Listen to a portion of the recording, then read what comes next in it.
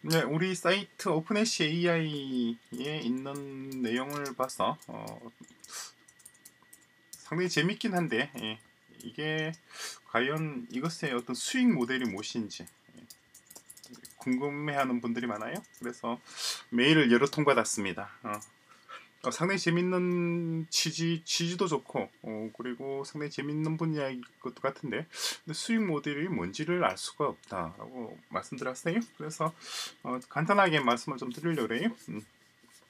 일단 그 그러니까 강의 컨텐츠를 판매하는 어떤 판매하고 그래서 어떤 인터넷 강의라고 하나요? 인강 회사로 하느냐라고 하는 질문들인데 아닙니다. 어, 강의 콘텐츠 판매가 목표도 아니고 어, 인터넷 강의도 목표는 아닙니다. 그러면은 그럼 Openhash Campus는 학원도 아니고 그럼 학교도 아니고 그럼 이게 뭐냐라고 하는 건데 어, 한마디로 말씀드리자면은 이제 그냥 커뮤니티를 지향해요.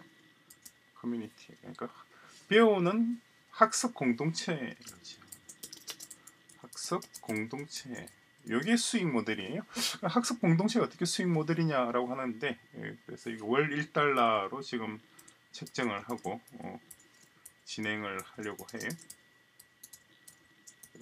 이게 구체적으로 어떤 의미인지를 조금만 더 부연해서 말씀을 드리려고 합니다. 그래서 어 뭐 이게 맞는 말인지 어떤지 모르겠습니다만은 제가 생각하는 제가 생각하는 미래 사회는 어, 머신러닝과 로보틱스가 사회의 중심이 되는 그런 사회라고 봅니다. 그래서 ML, machine learning, robotics 그리고 수간다 그러면 cryptography 어, 블록체인 기술이죠. 쉽게 말해서 우리는 Openhash이라고 표현합니다만 요것이 이 세 가지 기술이 어, 앞으로 미래 사회의 아주 핵심적인 기술이 될 거라고 봐요. 그래서 이런 이런 전문가가 양성될 어떤 코스, 전문가 양성 코스가 필요하고 어, 코스. 여기 이 전문가 양성 코스를 중심으로 해서 기존의 제반 어떤 직업 훈련이나 뭐 학교나 학교나 뭐, 뭐 교육기관이죠. 이 재 재구성되는 그죠? 재구성의 재편이라고 해야 되나요? 재편.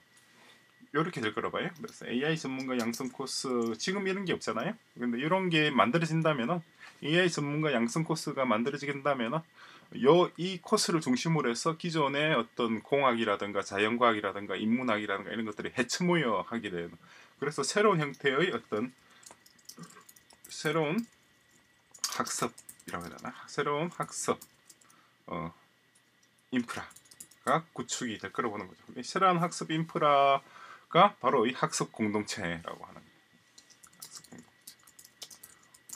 기존에 기존의 학교나 학원이나 이런 것들을 대신할 수 있는 일정 부분 보완할 수 있는 새로운 형태의 학습 인프라가 구성될 거라고 보고 이런 새로운 학습 인프라는 기존의 학교와는 달리 국경과 어떤 민족이라든가 언어의 장벽이 없는 장벽이 없는 글로벌 어떤 커뮤니티 라고 하는 거죠. 그럼 이 글로벌 커뮤니티가 학습을 하는데 있어서 어떤 먼저 어떤 뭐라고 해야 되나요? 표본, 모범, 시범 케이스가 있어야 될 거 아니에요. 시범 케이스를 시범 케이스가 있어야지 이걸 보고 이 새로운 지금의 청소년들이 어, 따라서 나갈 수 있겠죠. 그래서 우리가 시범 케이스를 만들려 그래. 몇 개를 만들려고 합니다. 그래서 어, 그게 첫 번째가 무인은행 같은 경우입니다. 그래서 무인은행은 어, 은행을 자동화하는 거죠. 은행의 자동화. 사람이 없이 하는 거죠. 그리고 무인 교통 인프라. 요거는 어, 그러니까 자율주행과 자율교통을 합치는 겁니다. 교통. 까지 체제까지 다 자동화 시키는 거죠. 하는 거 이런 것들이고 그리고 어, 기타 몇 가지 더 여기다가 상당한 robotics 어떤 관련되는 그러한 음, 프로젝트 몇 가지를 지금 준비를 하고 있고 지금까지 진행을 해왔습니다. 그리고 어, 앞으로도 진행할 겁니다. 이게 우리가 시범이에요. 이런 시범 케이스를 보고 어, 이 시범 케이스가 구성이 되면은 이것을 보고 어, 새로운 어떤 학습 인프라가 구성이 될 거라는 거죠. 그래서 기존의 학교에서는 이런 걸 할 수가 없잖아요. 기존의 학교에서는 자유교통 체계나 뭐 어떤 어, 은행을 자동화시키거나 혹은 뭐 음, 사법부, 뭐 법원을 자동화한다거나 이런 것을 할 수가 없죠. 그런데 우리가 어, 우리가 구성하고 있는 오픈에시 캠퍼스는 이런 게 자동화가 가능하다고 하는 시범 케이스를 우리가 스스로 만들어서 보여주려고 합니다. 보여주고 나면은 그런 다음에 오픈에시 캠퍼스를 사업화를 할 생각이에요. 그래서 그 전에는 사업화를 없습니다. 그래서 어, 무인은행이나 뭐 표준화폐나 어, 새로운 형 새로운 형태의 화폐 그걸 표준화폐라고 할게. 기존의 화폐와는 다른 새로운 형태의 화폐도 만들어서 어, 보여주고 지금 한국은행에서 발행하는 그런 중앙은행의 발권 통화와 새로운 우리가 만드는 새로운 형태의 화폐의 차이점이 무엇인지 이게 암호화폐는 아니에요. 뭐 가상화폐 이런 건 아닙니다. 그냥 화폐입니다. 근데 디지털 완전히 디지털돼 있고 암호화돼 있는 그런 화폐이긴 하지만은 어, 여러분들이 알고 있는 비트코인이나 이더리움이나 이런 것하고는 상관이 없습니다. 자, 이런 시범 케이스가 구성이 되고 구성 우리가 이걸 완료를 하고 완료를 한 다음에 그런 다음에 어, 국가 단위 한국이나 일단 저희는 한국과 아세안 7개국 9개국이죠. 한중일 더하기 아세안 9개국 을 먼저 시범적으로 이것을 우리 이 요 학습 시스템 그죠? Openhash Campus라고 하는 어, 학습자 커뮤니티죠. 어, 학습자 커뮤니티고 얘는 어, Openhash Campus는 학습 공동체이고 그러니까 기존의 어떤 페이스북하고 상당히 비슷해요. 어, 근데 페이스북은 페이스북이랑 비슷한데 decentralized. Decentralized and 어 뭐라고 해야 되나요? contents based contents based 어 페이스북 이라고 하면 되겠네.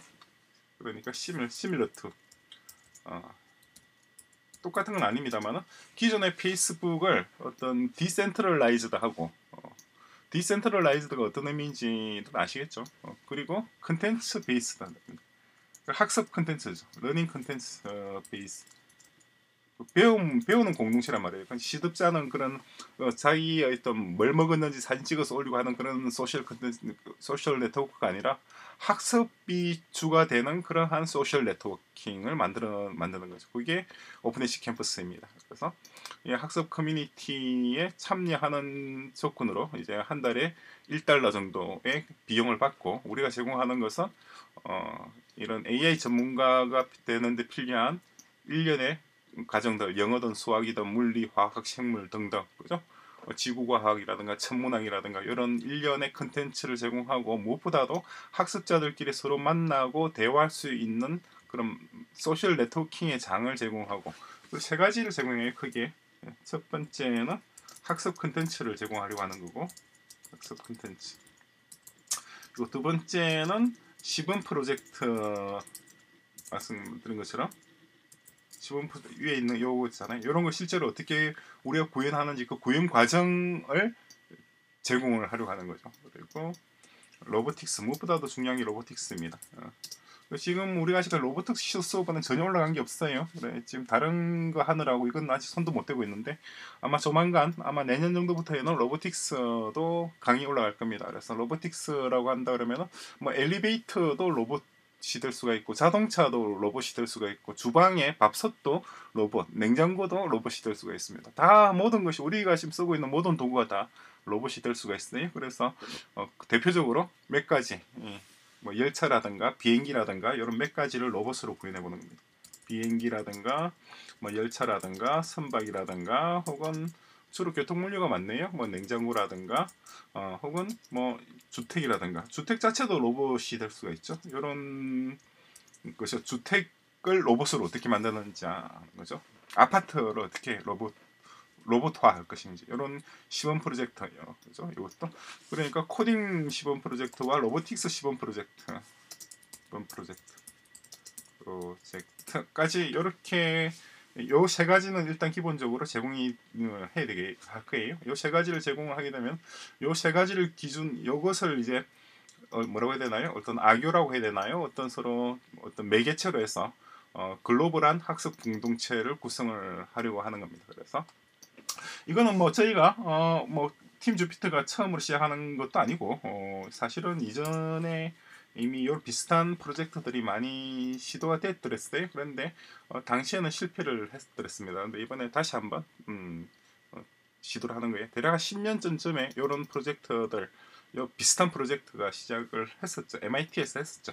근데 그 MIT에서 했던 것들은 어, 결과적으로는 아직까지 지금은 거의 뭐 사정화되었고 그 바톤을 이어받아서 새로운 형태로 진행을 한다는 것이고 그래서 오픈에시 캠퍼스가 이 수익 모델을 그 생각하신 질문하신 분들은 어, 오픈에시 캠퍼스가 일종의 학원이냐 뭐 이런 내용인데 어, 결론적으로 말씀드리면 학원도 아닙니다. 학원도 아니고 학교도 아니고 어, 기존에 있던 그런 형태도 아니에요. 에, 페이스북도 아니고 그렇다고 해서 어, 어떤 뭐 카카오톡이나 이런 것도 아니면서 동시에 기존의 학원이나 학교나 카카오톡이나 뭐 카톡이나 페이스북의 성격을 다 가지고 있는 형태가 되고 어, 지금까지는 이런 형태의 어떤 조직이나 프로젝트가 지금까지는 없었더랬어요. 그러니까 이 설명이 상당히 조금 어, 좀 다른 부분이 있죠. 왜냐니까 제가 설명드리더라도 이전에 이런 걸 본 적이 없잖아요. 그러니까 이게 뭔지 감이 좀 안 온다라고 하는 분들이 많은데 뭐아할 수 없습니다. 감이 안 오는 거 제가 어떻게 할 수가 없어요. 일단 우리는 이 프로젝트들을 진행을 하고 그러면 사업하는 건 실제 어, 언제부터 이 사업화가 되어서 뭔가 돈이 들어와야지 그래도 이 조직이 구동될 수 있을 거 아니에요. 그래서 어, 조직이 운영될 수 있는 Openhash Campus라고 하는 일종의 조직 이것도 조직이죠. 사람들이 하는 일이니까 어, 사람들이 어울려서 함께 일할 수 있는 수익원이 창출되는 시점이 언제냐라고 하는 건데 그것은 어, 일단 1년의 학습 컨텐츠가 구성이 되고 그리고 코딩 시범 프로젝트와 로보틱 시범 프로젝트가 완성이 되는 시점으로 생각하고 있습니다. 그 시점은 2010, 2020년 대략 내년이죠. 내년 이맘때 전에 이게 다 완료가 될 거라고 예상하고 있습니다.